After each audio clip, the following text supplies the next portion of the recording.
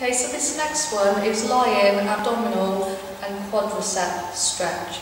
This is an advanced compound stretch which targets the rectus abdominis, the hip flexor group and the quads. Okay, so Jasmine, if you, from this position, going to take your legs apart so you sit between your heels and really slowly come into it. So as you breathe in, exhale, start to come all the way to the floor if you can. You can hold on to the legs, the feet for support.